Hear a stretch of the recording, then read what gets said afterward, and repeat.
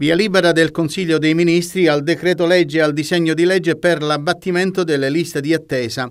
Si va incontro ai cittadini, ha detto il ministro della Salute Orazio Schillaci, annunciando che dal 1 gennaio 2025 sarà abolito il tetto di spesa per il personale sanitario, ricordando che esiste da almeno 20 anni e nessuno l'ha mai abolito fino ad adesso.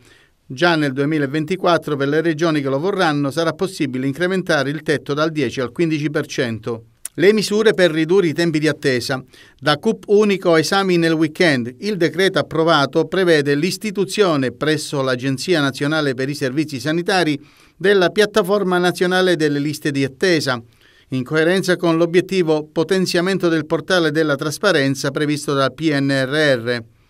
Inoltre si istituisce presso il Ministero della Salute l'organismo di verifica e controllo sull'assistenza sanitaria con il compito di verificare il corretto funzionamento del sistema di gestione delle liste di attesa e dei relativi piani operativi per il recupero, L'organismo, con il supporto dei carabinieri per la tutela della salute, potrà accedere presso vari soggetti sanitari pubblici e privati accreditati per verificare e analizzare le disfunzioni delle agende di prenotazione su segnalazione dei cittadini, degli enti locali o delle associazioni di categoria degli utenti. Le direzioni generali aziendali dovranno garantire l'erogazione delle prestazioni richieste attraverso l'utilizzo dell'attività libero professionale intramuraria o del sistema privato accreditato anche al di fuori degli accordi contrattuali vigenti sulla base della tariffa nazionale vigente. Inoltre si prevede che le visite diagnostiche specialistiche siano effettuate anche nei giorni di sabato e domenica con orario prolungato.